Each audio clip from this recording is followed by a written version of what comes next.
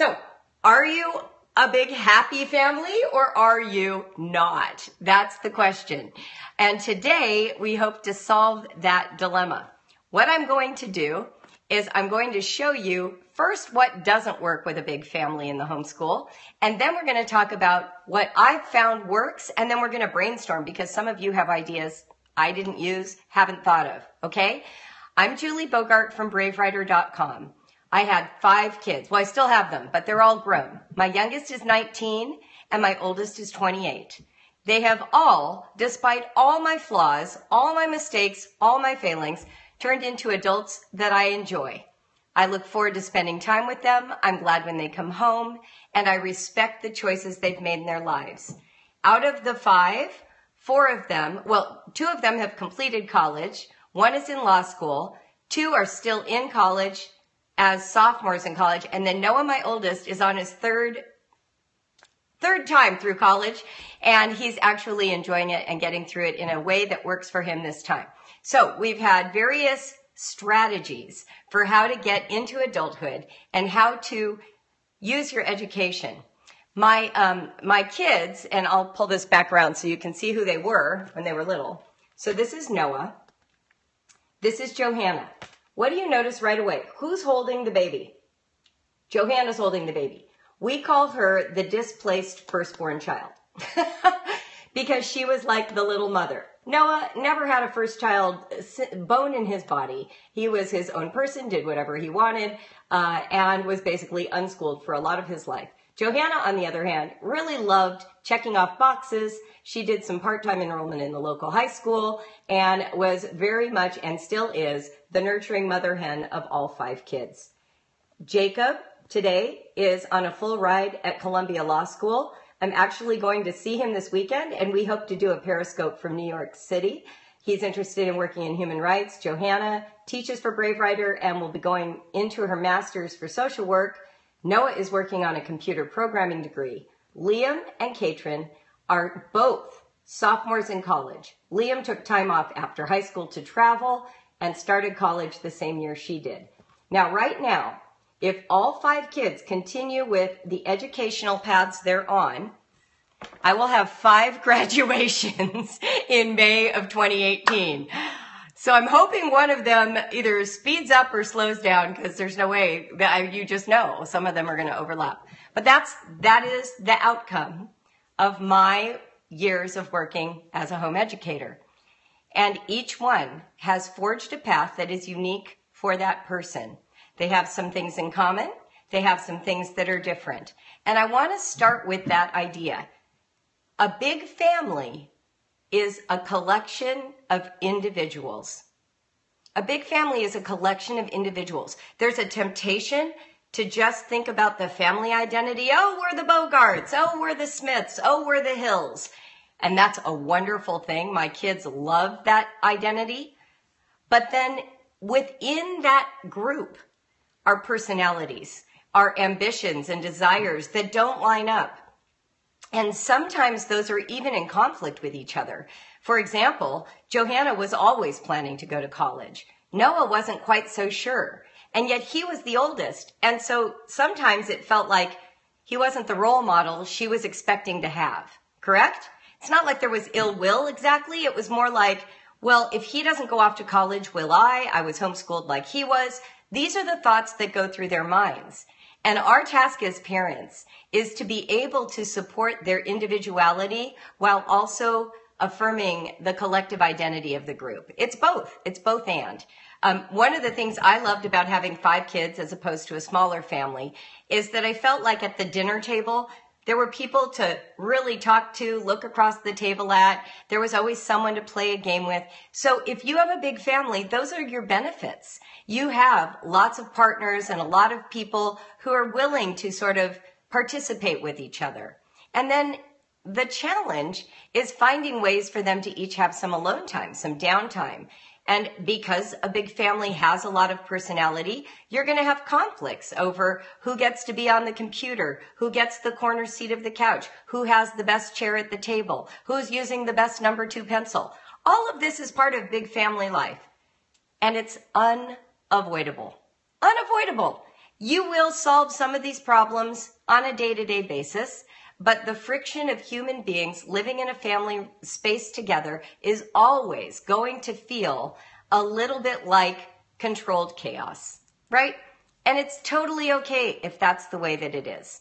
You are doing it right if that's how it goes. Hey, corner seat, are you spying on my kids? Of course, see, I had kids. I know what they argue about, right? They argue about the cutest things and the most annoying things. And hey, move your elbow. I can't brush my teeth while I'm standing next to you at our tiny sink in our tiny bathroom. These are the things you deal with as a parent all the time. Now, I remember talking one time with a therapist about big families and I had this big agenda that kids get along all the time. And so if my kids got in conflict, we would try and sit them down, do sort of the therapist couch thing where he says what he's feeling, she feeds it back, then she says what she's feeling, he feeds it back, and then they try to come up with some kind of solution. So my kids hated that. um, we did it though uh, many times. Anyway, I don't know if it was a good idea. Um, as adults, they look back sometimes with fondness on it, but at the time they didn't love it.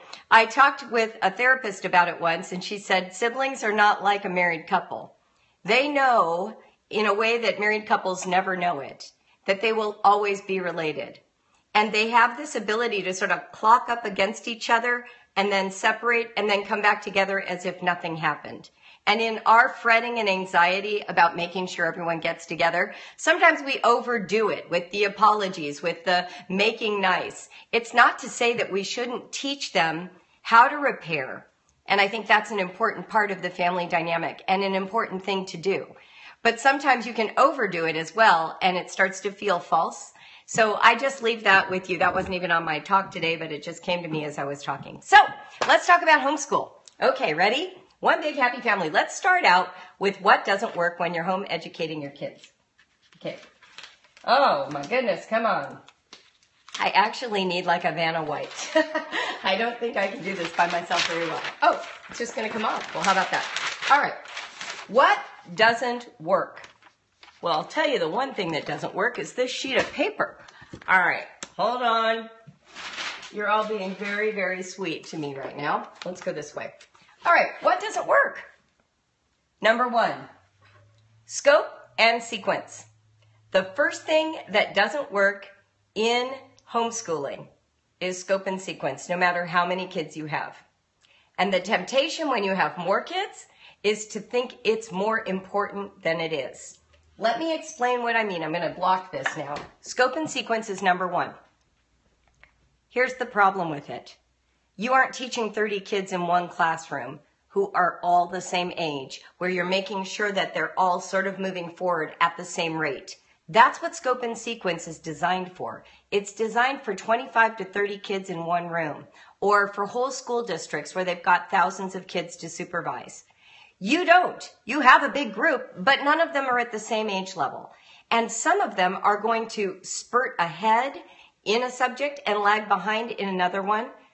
And half the time, they don't even know what grade they're in. Have you experienced that? You know, you're at the potluck at church or you go to Thanksgiving dinner at your in-law's house and somebody says, so Sally, what grade are you in? And she's like, uh, mom, mom, what grade am I in? Like they don't track it the way that you do. So the problem with, yes, asynchronous learning, beautiful language. The problem with scope and sequence is that it can lock you in to thinking that all the subjects have to keep pace with what's happening at school. The beauty of homeschooling is that you can tailor make the education so that a child who struggles with writing but is advanced in reading can have both of those needs addressed. The reason this is especially critical to mention in a big family is that one of the tendencies in a big family is to want to institutionalize to get some order, to get some structure. It's harder to know each child as intimately when you have six kids than it is if you only have one. And so one of the ways that you are tempted to evaluate them is to match them up against a rubric because it's exhausting to focus on one child and really know them well when you've got five others in the wings. Does that make sense? So you want to focus on the individual child, on their skill sets. And I'm going to show you how to do that in a way that won't drive you utterly bonkers. Okay. And then if you need more help than that, you can certainly join us in the Homeschool Alliance in my coaching community where we work on this kind of stuff all the time. CoachJulieBogart.com. I don't mean to give an ad, but I just know I won't address everything that you're going to wonder at the end of this scope. So if this is something that interests you, come there. We focus on cognitive development, how to keep track of what's going on with each child, and ways to feel progress happening in the homeschool. So the first thing that doesn't work is scope and sequence. Okay? Number two, timed lessons. And when I say timed, I mean like a school bell schedule where you say, okay, everybody's going to do spelling for an hour. That doesn't work. We're going to talk about how to organize spelling for everybody or reading for everybody or writing for everybody. But you can't do it by one of those planners, you know? I'm not saying you can't use a planner. A lot of homeschool parents use bullet journals and they use planners to sort of get the information that's trapped in their heads out physically in front of their eyes where they can make plans. But what I'm talking about is following a bell schedule. You know, we're going to start a, we're going to start our day with chores at 8. At nine, we're going to start reading. At 10, we're going to do math. The problem with that is if you have a range of ages, particularly if some of those kids are not yet school aged, they're going to throw a bomb into the living room. I call it the homemade hand grenade. They're just going to, you know, blow out the diaper or you're going to have a colicky baby or one of your kids is going to complete their work really quickly while the other one is really struggling. And so you wind up feeling out of sync with your plan all day, every day, and you think you're not making progress. And you might make some progress. And that might reinforce this temptation to keep that going. But what I want to share with you is that from my like vast experience of hanging out with so many of my friends, running Brave Writer, having my own family of five, none of those sort of bell schedule formats last long enough to feel like now I'm in my groove you can sort of get it going for a month or a few weeks or, you know, our big joke in Brave Writer in the fall, classical education in the winter, Charlotte Mason in the spring, unschooling. When you have all that new fall energy, you can sort of marshal it a little bit more than you might in the spring, for instance. But just know that even if you set up a schedule like that, it's likely to get shipwrecked or to fall apart or to not sustain itself forever. I'm not saying you shouldn't ever try it. All I'm saying is, is that it really doesn't work as well with a big group as you wish it would. Somebody says she likes my emphasis on routine, and we're getting there. But that's exactly right. There's a difference between schedule and routine. And routine, just as a quick, temp, you know, we'll get there when we get to what works. But routine is different in that it is sort of a predictable cycle as opposed to a bell schedule. Okay? So we're getting there. All right, so we found out scope and sequence doesn't work. Timed lessons don't work. Okay, number three, focusing on the oldest, focusing on the youngest. How many of you know, focusing on the oldest, focusing on the youngest, how many of you know that your oldest child gets the lion's share of your attention for their whole lives?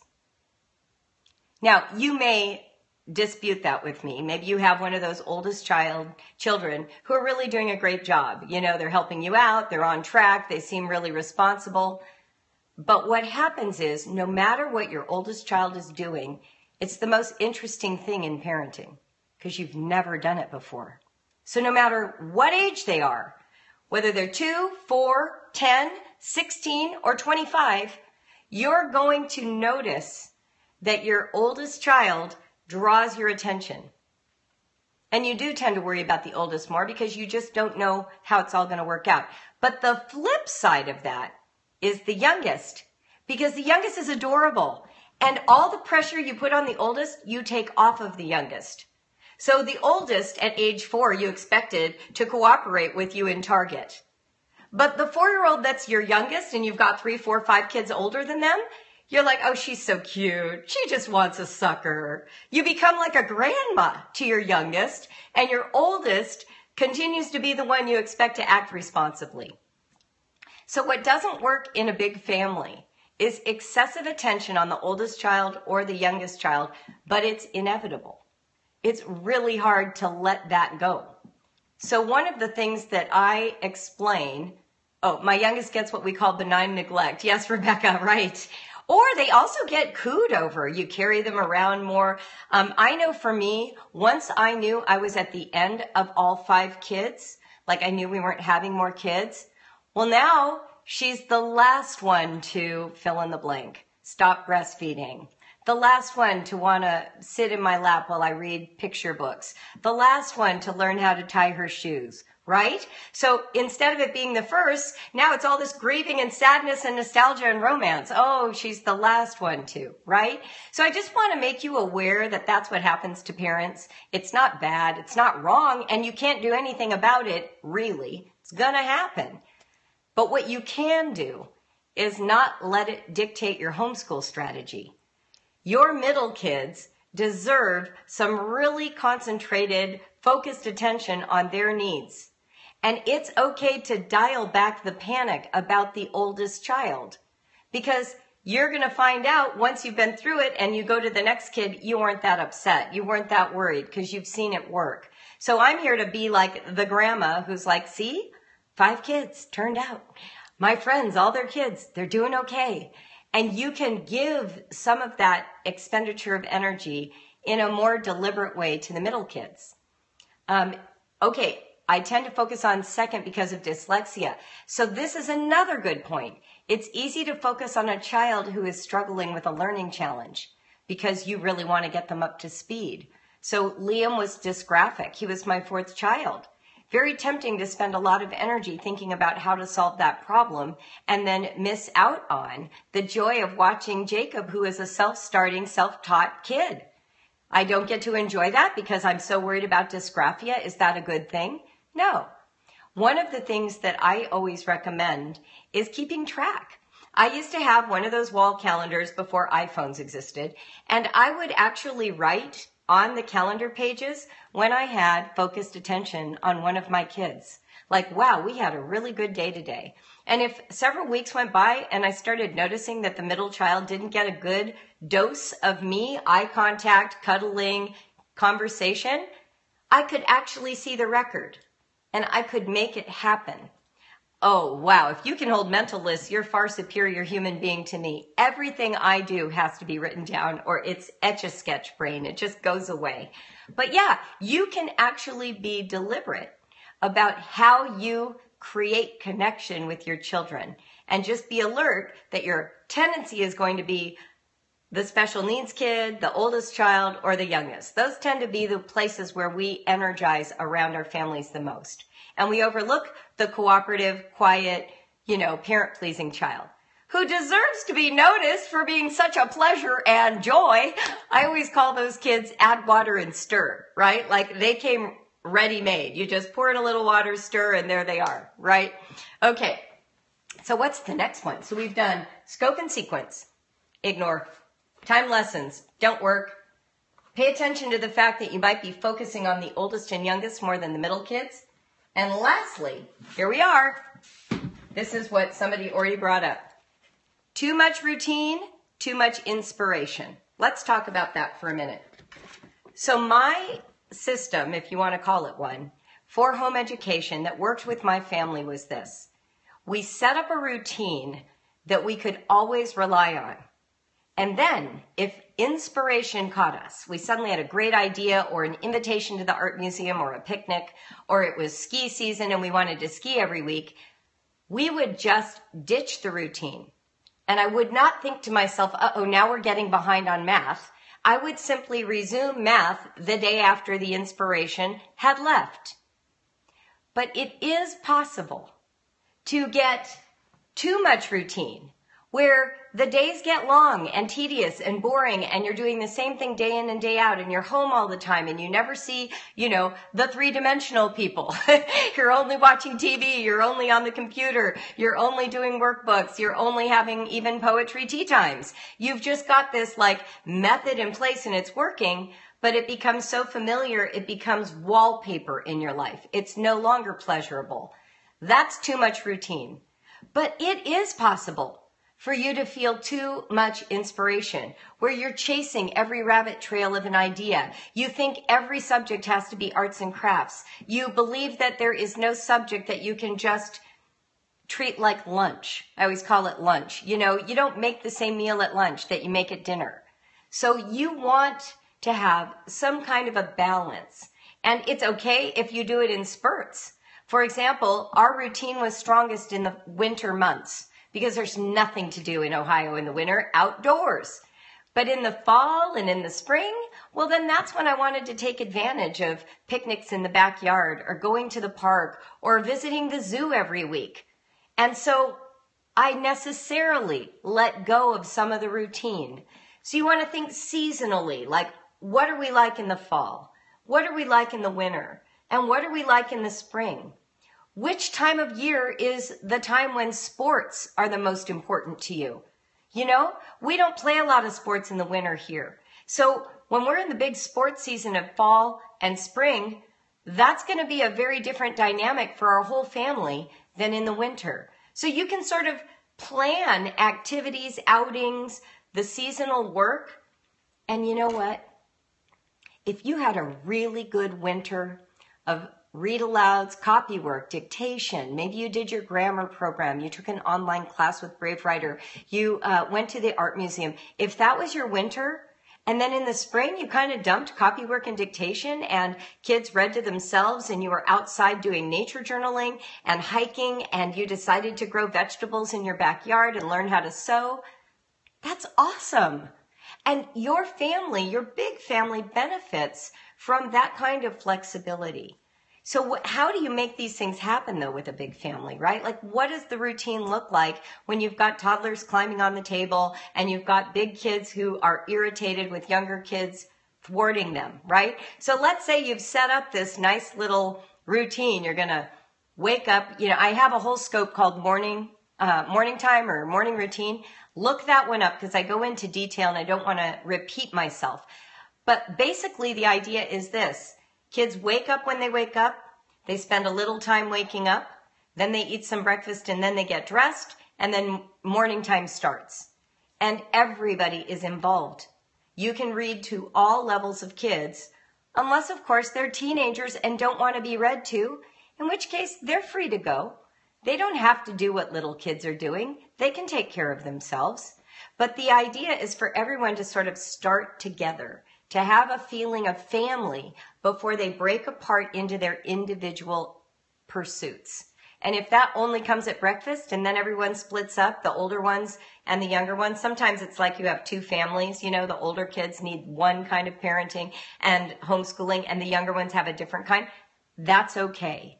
Togetherness is enforced by the walls of the house. It doesn't have to be enforced by the activity. Okay? All right. So We've looked at what doesn't work.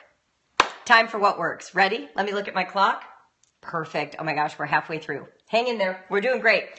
And we'll take questions at the end.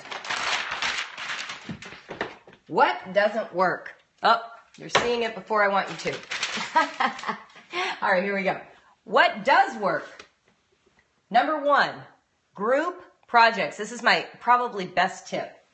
And group projects work best for these four subject areas. Can you even see that? It's pretty small. Science, history, writing, arts and crafts. There are other ones I'm sure that would work, but these are the main ones. You can work as a group at all different levels on these four items. Not so much with math, not so much with learning to read or spell, but you can certainly science, history, writing, and crafts you can do these as a group, and I'm going to tell you how now. A group project is this. It is selecting a topic that everybody engages in at their level. So let's say you're using the classical history cycle. You don't have one child in ancient history and one child in modern history. How can you be an effective family coach when you have to master and know two kinds of subjects, I mean, two um, aspects of the same subject simultaneously? Very difficult. In fact, years ago, I was actually on a radio show in Los Angeles. Someone was bashing homeschooling. So I called in because, you know, gotta defend the, the faithful. and I said, What you're not understanding about homeschooling is that it is family learning. And so when my kids are learning about colonial American history, they all are. And I know what we're talking about and reading and exploring together during the day. So at dinner, when their dad comes home, we're all caught up in colonial American history and we might watch a video as a family that night, or we might act out a scene, or we might read poems written during that era. But the whole family is sort of like colonial history for a period of time. So then this radio announcer came back and he said, yeah, but we do that at the dinner table. I asked my daughter about her school day. I said, yes, but if your son is studying something else, he isn't participating. And that clicked for him. He said, that's an aspect of homeschool I didn't understand because that's an aspect of our lives. Now, we seem to know this for history, but we don't seem to know it sometimes for science or for writing. Writing, I see this all the time. Writing can be done as a group. Here are a few ways to make writing more conducive to a large family. Now, when I say large, let's just define terms for a minute. I'm not necessarily meaning that the 18 year old and the five year old are working on the same project. If you've got 10 kids, you've really got two groups of five. And you might need to moderate between those two groups, maybe even every other day. That might be the way you manage. But what you want to make sure is that you've got sort of a collection. We're going to talk about math in a minute. Um, you've got sort of a collection of kids that are able to handle the same project idea, but execute at their skill level. So, for instance, let's say you've decided that they're going to study art a la Charlotte Mason, and everybody is going to produce some kind of a narration about a painting. Well, for the small kids, maybe they just have paintbrushes and paint, and they're going to try and make paint marks on a page that remind them of that painting, or they'll use oil pastels or crayons. But if you've got somebody who's in eighth grade, and I did, he was able to draw it with colored pencil and handwrite his own written narration in cursive. But we're all looking at the same painting. Someone said, what about a big age difference? Well, literally, I had toddlers and someone in junior high. So that is a big age difference. And yet the toddler could play with clay or color just the same way that the oldest could express a narration in writing and detailed drawing. And then we had everything in between. Liam could tell me what he loved about the painting and I could jot it down for him. We could Xerox the painting for him and he could glue it onto the same page as his narration. Whereas the older three, they could actually draw it and then they might need me, Jacob might have needed me to handwrite his narration and let him trace over it. Or perhaps he could only do a sentence and my oldest one could do a paragraph. But we're all looking at the same painting. I'm not saying, well, right now I'm going to do Monet with the younger kids and Picasso with the older kids. Does that make sense? We had sort of a corporate experience of art. This happens with all kinds of writing projects, but even more you can actually have everyone working on the same writing project. What if you do the end of the year family newsletter and every single child contributes something? One kid co- contributes headlines, another kid contributes interviews, another kid writes what everyone does in sports for the whole year. And you put this all together and it's one synthesized family project and it reflects everybody's stages of development as opposed to, well, you know, the second grader can write a letter, but the eighth grader should be writing an essay. If you start thinking collaboratively, almost like you're producing a published work with a variety of roles, you're going to see a whole different attitude around writing in your family because there's this collected energy. You're not so spread out. Now, do you do this for every writing project? Probably not. I didn't. But I remember, for example, after we had been studying ancient Egypt, my kids got really interested in embalming fluid. And so all of a sudden in the mail, we got this big, um, what do you call them? Mail order catalog for Apple Mall. You know, they called it the Mac Mall, I think. And I saw that and I turned to my kids and I said, we should make our own mail order catalog for embalming fluids and ancient Egypt's you know, um, processes that they use to mummify. Well, my kids thought that was a great idea. So Noah and Johanna produced it together they decided each one divided up which kind of you know item they were going to represent. They started reading through the mail order catalogs that we got to get a feel for the language and then they just spoofed the whole thing. They called it the mesopotamia mall and they did artwork and they wrote captions and they even came up with pricing based on the kind of money that was used back then. I think it was called deben if any of you are studying ancient egypt. It was a collaborative project and at the end, we color Xeroxed it and bound it at Kinko's and gave one to each of them. But it was hard to know where it started and where it ended. It was two kids working on one project. And you know, there is energy released when there is more than one person. Now, I know some kids will be protective and they want their own thing, and it's fine with me if that's true. But you might try this. Just see what happens if there's a collaborative effort. You can even throw out an idea like, we're all going to write about fairy tales. And one of the things you'll notice is the way a five year old writes about fairy tales and the way an adult or a teenager writes, totally different. Still an amazing subject. I mean, a 16 year old could do a spoof. They could do a feminist fairy tale. Five year old's just going to retell the fairy tale. Or maybe your 15 year old's going to do an original fairy tale. She's already taken in all the properties of a fairy tale and now she's going to do a modern one set in, you know, the YMCA. See what I mean? What we want to do is recognize that people just naturally bring their skill set to the table and their maturity. Scope and sequence makes us think that somehow a fairy tale is for a child and not for an adult. And yet, you know, PhD students have written dissertations about fairy tales. It's not about the subject matter. It's bringing your personal skill set to that subject matter. And sometimes it's just easier if everybody's on the same subject and we allow them to express their skills through that subject together.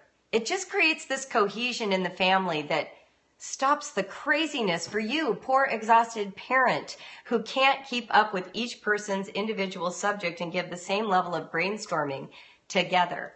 Rebecca said she's finding that the 13 year old likes the Jot It Down projects, of course. And honestly, something for you to know.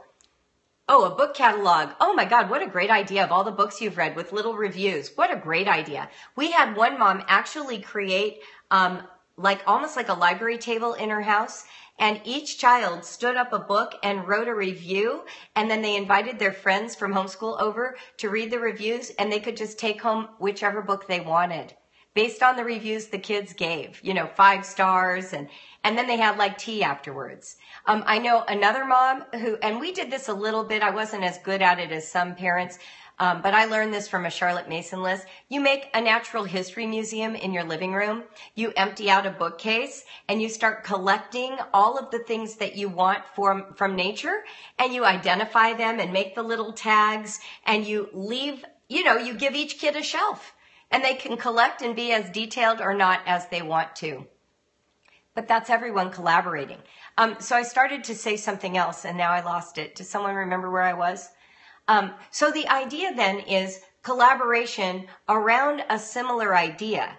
It's not necessary or same subject area, but you don't necessarily have to pander. Oh, I know what I was going to say.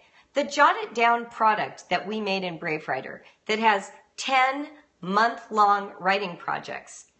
Almost everything in it was done by all five of my kids.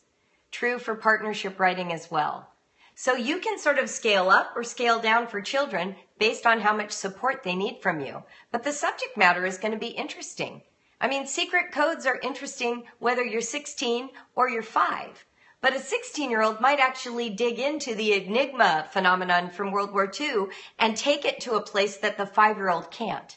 But the whole family can be immersed in secret codes, you know, for a month. Why not? Much more interesting. Plus, when you have a big family, anytime you do secret codes, letter writing, passing notes, story building, it feels wonderful to have partners.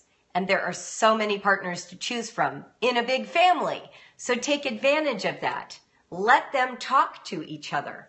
Let them write notes to each other.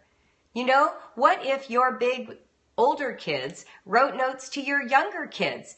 One of the things Johannah used to do is jot down Caitrin's stories on her behalf because she had seen me doing it.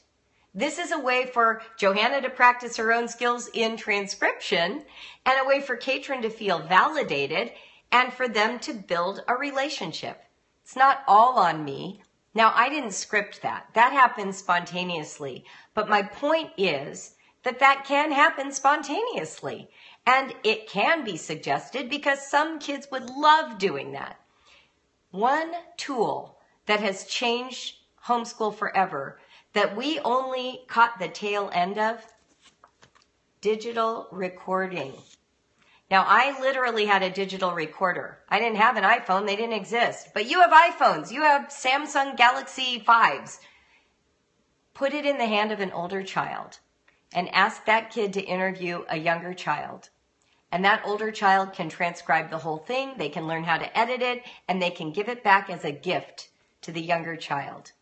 It allows the younger child to narrate in a way that they won't when you're just asking them a question. And it allows the older child the practice of good interviewing skills and creating this work that is a gift back to the younger child. And the bonding, oh my goodness, will be so strong. My kids created their own um, podcast together. In fact, I think one of them, would you have them write a transcript? Sure. Sure. That's exactly what I'm saying. They're going to interview them and then they're going to transcribe it, type it up, print it out and give it away. Now, um, I had kids who did podcasts. Uh, they, we didn't have the capacity to do them back then. But what we did is we just used GarageBand and my kids interviewed each other. They were called um, something like fascinating, com- oh no, interesting conversations with Caitrin and Jacob. I still have them. They're absolutely hilarious. You want to make use of technology and the natural bond of friendship that your children share. My kids did all kinds of book club style parties. They had Harry Potter parties where they made all the cookies together, invited all their friends over, played all kinds of, you know, Q and A's together. They shared books. When we were on the whole Harry Potter craze, they would take turns and time each other. Okay, you get to have it for 30 minutes, then it's my turn. These are all family dynamic issues that actually create an incredible amount of love and bonding. Your older kids who want to play on the computer all the time, perhaps one of the ways they get the chance to do that is if they're willing to play Mario Kart with the younger kids for a little while to give you time with another child in the family. So also pairing play and giving the older kids a chance to be the skillful one and the younger kid a chance to get some relational nurturing from an older sibling. Those are all ways, okay? So Group projects for science, history, writing, and of course, crafts. Everybody can do drawing. When we learned how to draw, we all did it together. When we ever did crafts, I had multiple glue guns, multiple stations, and everybody performed at their own level. And it's just wonderful to be together. Now, why doesn't this work with math? Let's talk about that for a minute. There's so much math you can do as a family. I shared last week about the book Family Math, which I just found. Oh, I have it. Let me show it to you. Hold on. I was hoping I had it handy. Hold on. Uh-oh. Oh! There goes the tower of books. This is the book called Family Math. You can do this as a family. Now, they'll need to move forward in their own math skills, and I have no problem with that. So maybe they can all do math at the same time, but in their own books, right? Mommy Julie knows about Mario Kart, of course. I have five kids. This book is fabulous. It's filled with activities. Um, let me find one just to show you. This is what they look like. And you can do this with your kids.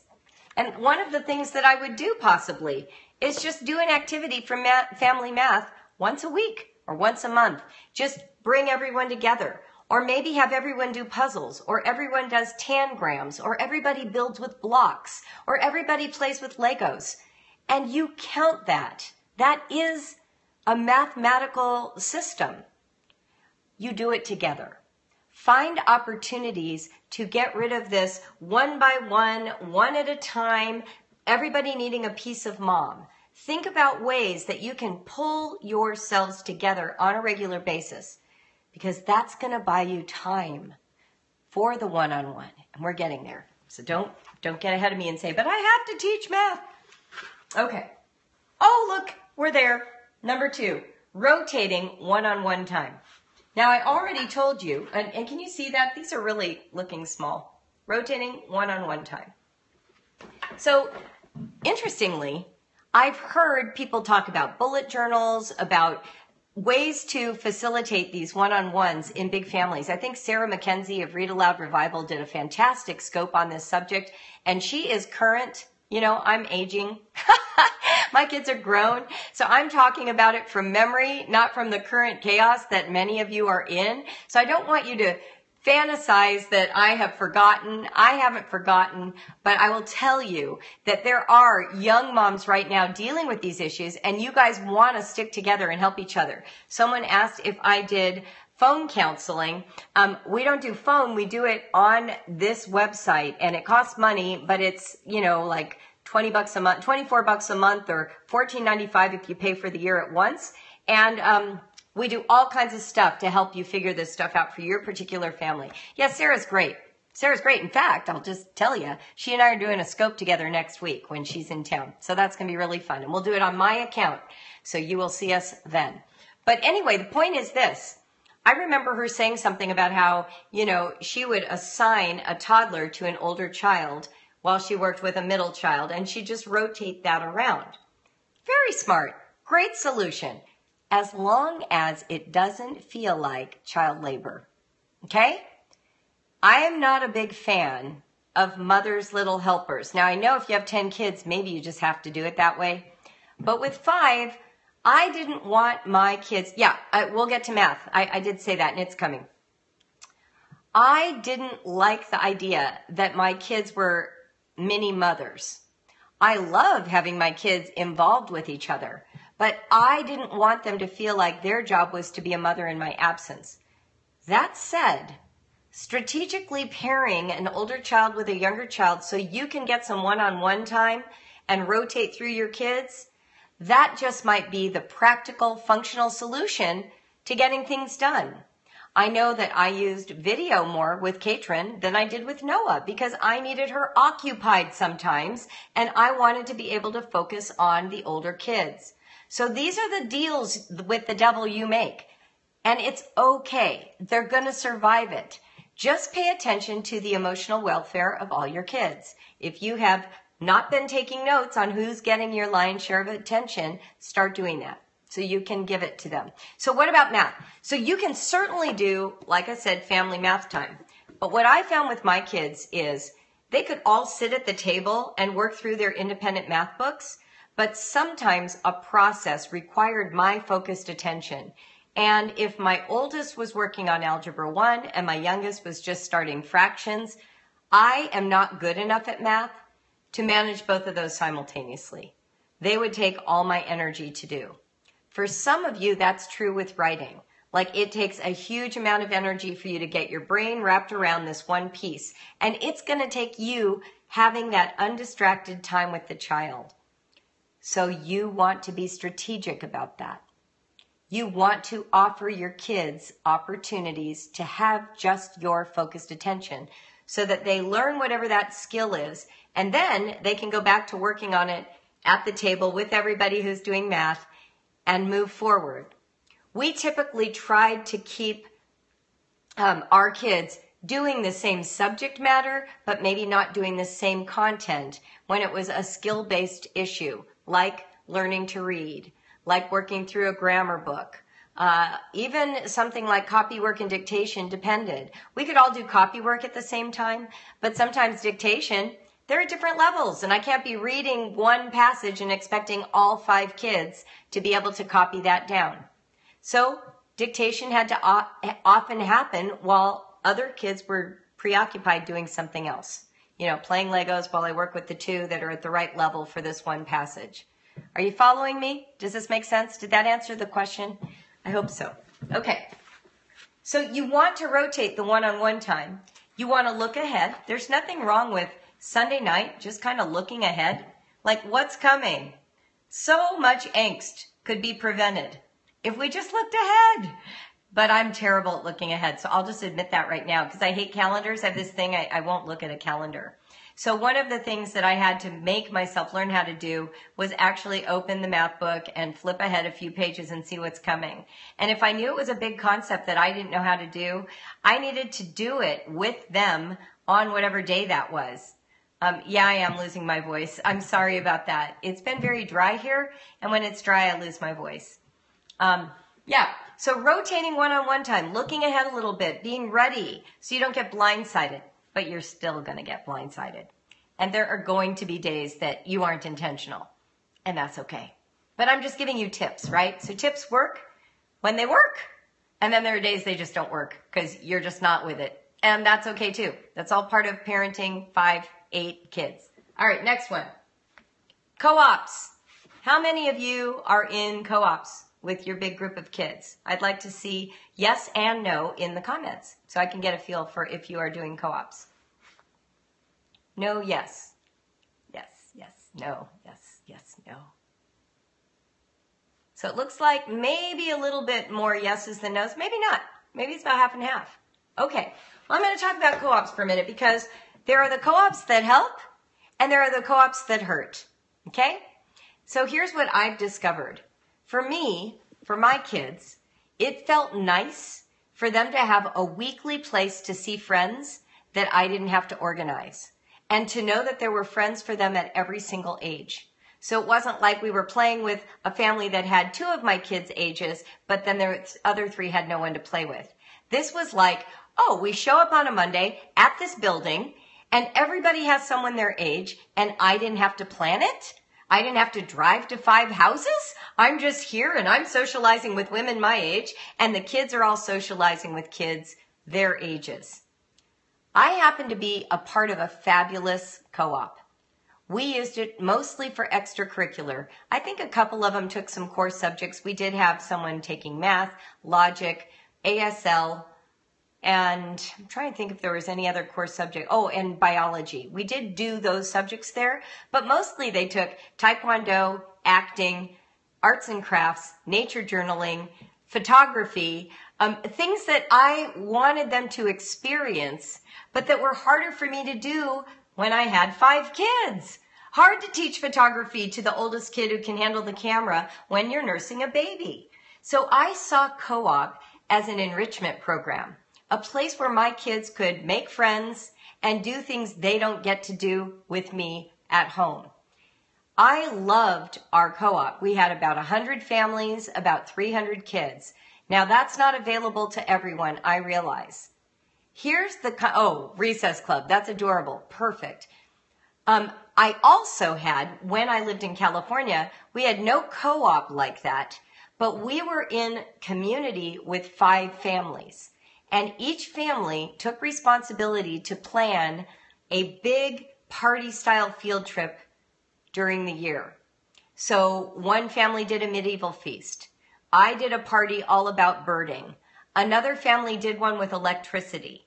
Another family did one with baking. And we just rotated who was in charge so that it never all fell on me. And we got together every other month of the school year. And it would be five families and all of our very small children. And we would do these big parties. So you don't necessarily have to have a building and hundred families in a co-op like that. You could do a cooperative with a small group. But here's the benefit of that with a big family. You give your kids the opportunity to interface with other children their ages, and you take some of the pressure off of you to provide all the magic and all of the teaching and all of the fun because kids need a lot of doses and the more kids you have, the harder it is to satisfy everybody's need for fun. Does that make sense? Okay. So that's my thing about co-ops. Now here's the problem with some co-ops. Some co-ops feel like ball and chain. They're so academically oriented that you end up feeling more pressure between the two weeks because you suddenly have to live up to a school schedule. All of these pages to fill out, all of this stuff to get done. And now the little kids are in the way of you helping the older one write an essay a week for these classical works that he isn't really getting. Those are not helpful co-ops and they're not helpful for big families. So if you are in something like that and it is shipwrecking your peace, it's not worth it. start something else. Get out, find your friends, and start something that is nourishing and enrichment oriented as opposed to high standard academics. Because for big families, that can feel like a lot of pressure. You know, if you have an only child or two kids, maybe it's great. But I know for me with five, there was no way in heck I was going to submit to that kind of structure and feel that level of pressure. Okay, here's the last thing that works. Ready? I'm going to hold it up here. Here, if you want to screenshot all of these, these are what work. Time off for errands, for play, and for cleanup. Time off. What do I mean by that? It means no homeschool that day. I found that I was a happier person if I didn't try to squeeze grocery shopping in around the edges. In fact, we treated grocery shopping like a field trip. I threw all the kids in the car. We would anticipate what we were going to shop for. When we went to this one really amazing store in our neighborhood, I used to always tell them, let's pick one exotic piece of fruit or a vegetable we've never had. And then that's what we'll do when we get home. And we'll figure out which of those you know, um, foods is something we want to incorporate into our lives. And, you know, on my better days, which happened, what, five times, we actually looked up where that food was from and how it was used in their culture and whatever.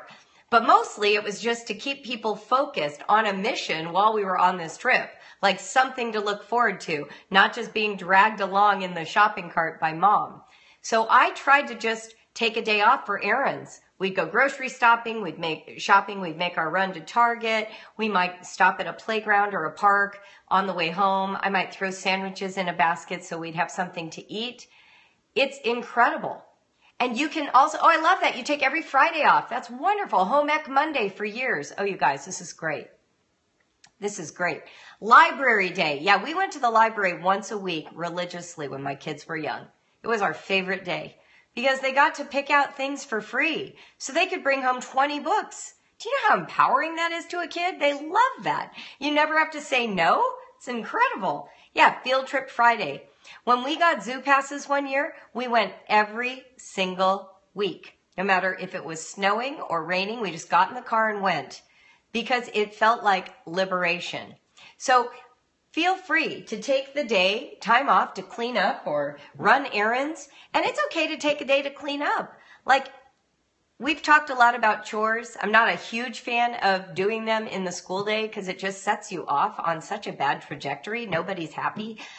Unless your family loves them or is on a farm and needs to do them and it's a part of your family culture. But for most of us suburbanites, chores means making your bed. Like, okay. So what I would rather do is just pick a morning. We typically did them on Saturday morning.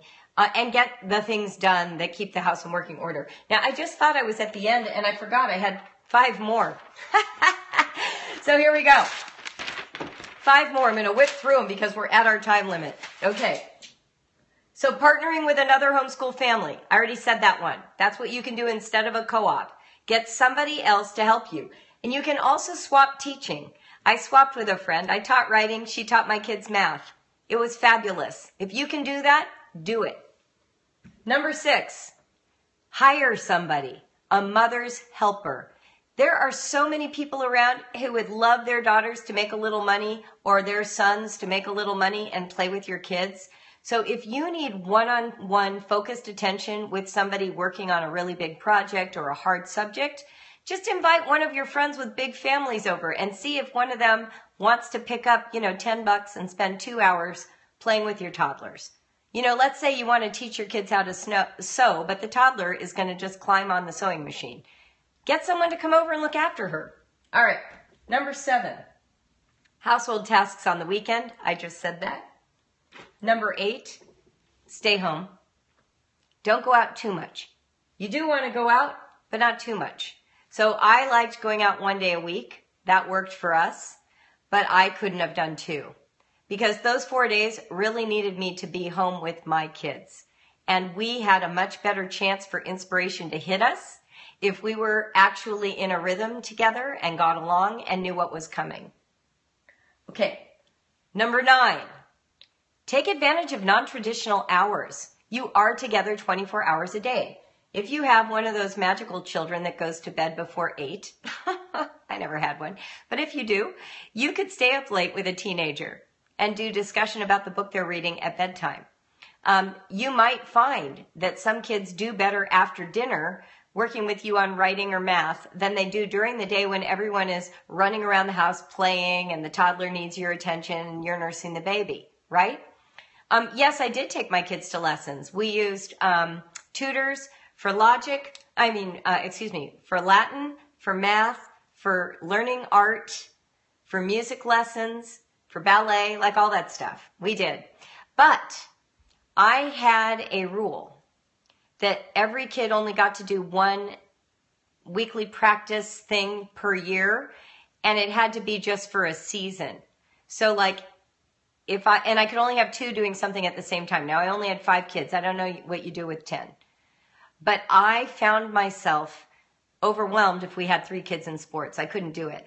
So we always had just two in something, ballet and soccer or lacrosse and ballet or theater and, you know, baseball but I wasn't okay with everybody. It's really hard, especially because you sort of think they need it.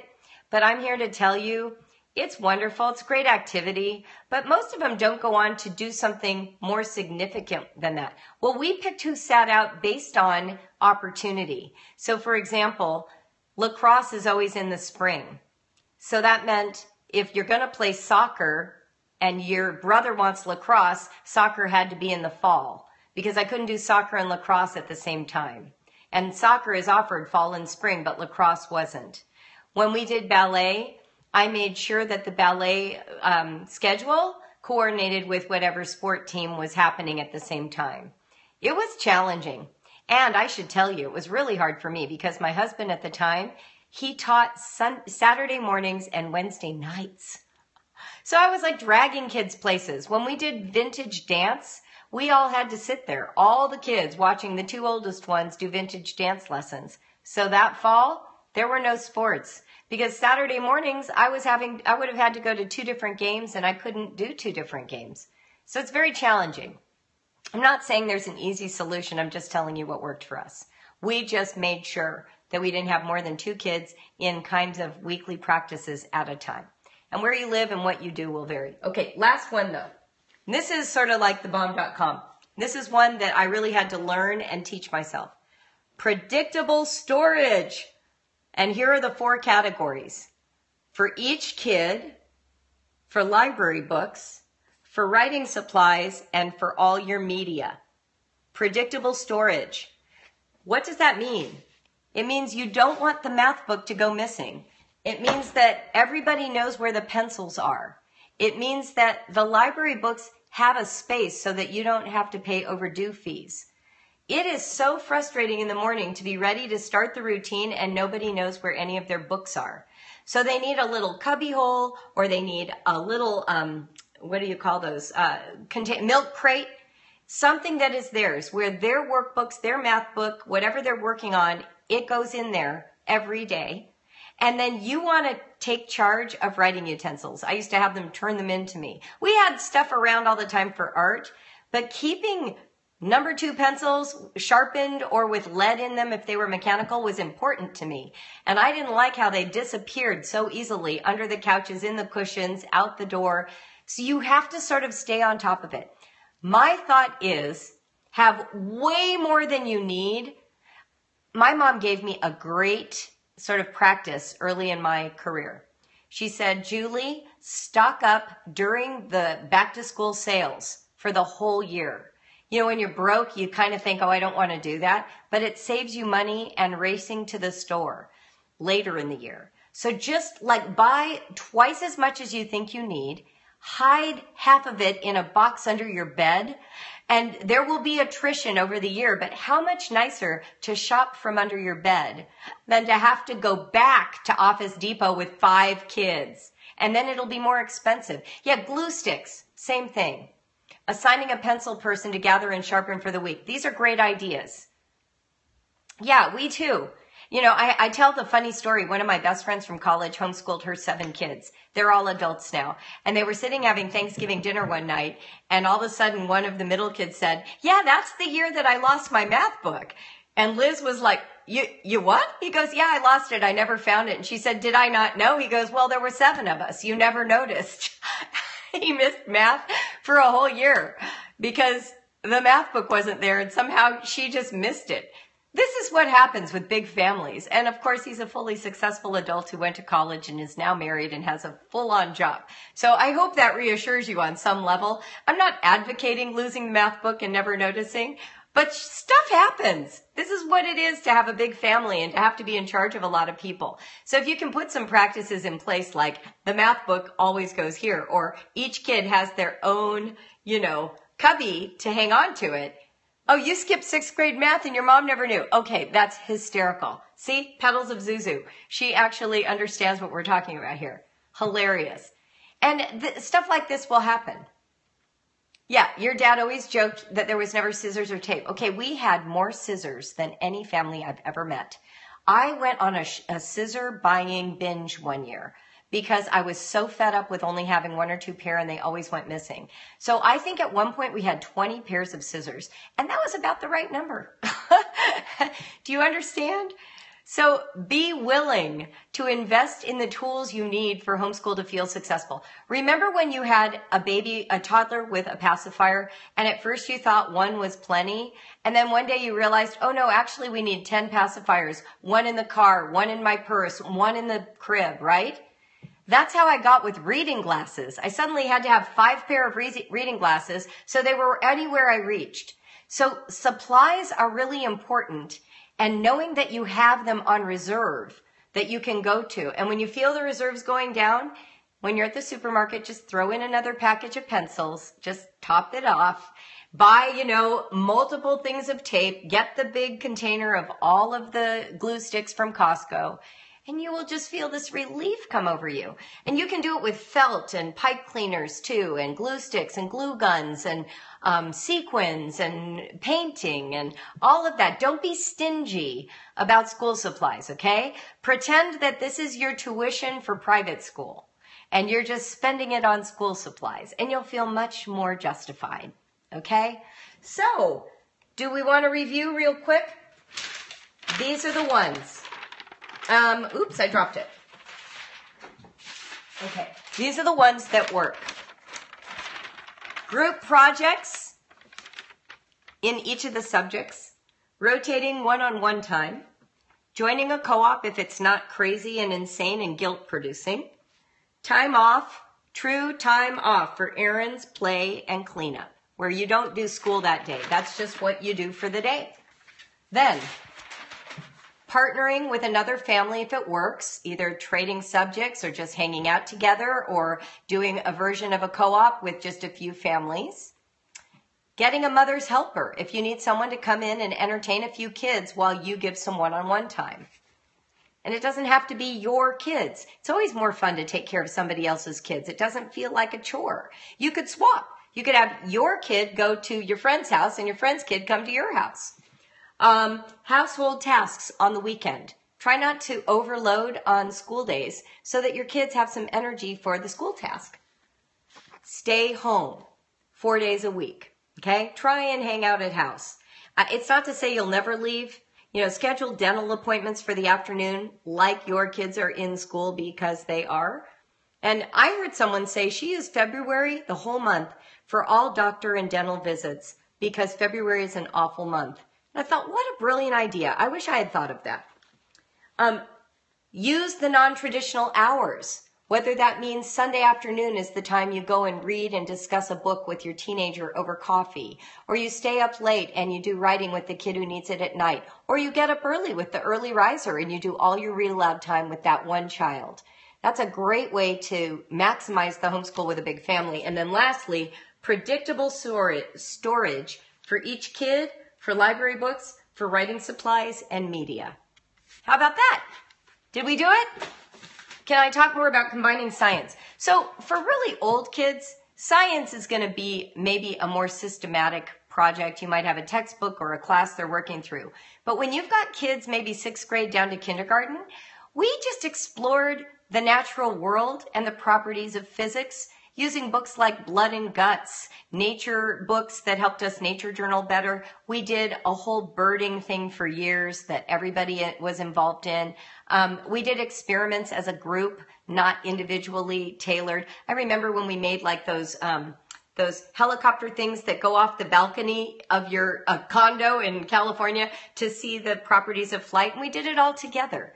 So that's what I'm talking about. You can all participate in the experience of scientific experiments. Um, and they get to participate at whatever level they can. Older kids can write it up using the scientific method, and younger kids just get to, you know, break eggs and, and ruin things. Ninth through toddler. I have an idea of using the high school science to springboard a younger group. Brilliant. Brilliant, brilliant, brilliant. And you know, your kids who are learning about biology, that has spillover so well into blood and guts and the human body. I remember we did a whole thing on fingerprinting and then it, you know, spun off into, um, police records and what it means to be identified by your fingerprints. And you know everybody participated. And the older kids got a whole different understanding of it than the younger ones. But we were all focused on the same thing. That to me is the biggest trick with a big family Keep the topics united, even if the skill levels are different. Thank you for joining me today. I'm Julie Bogart.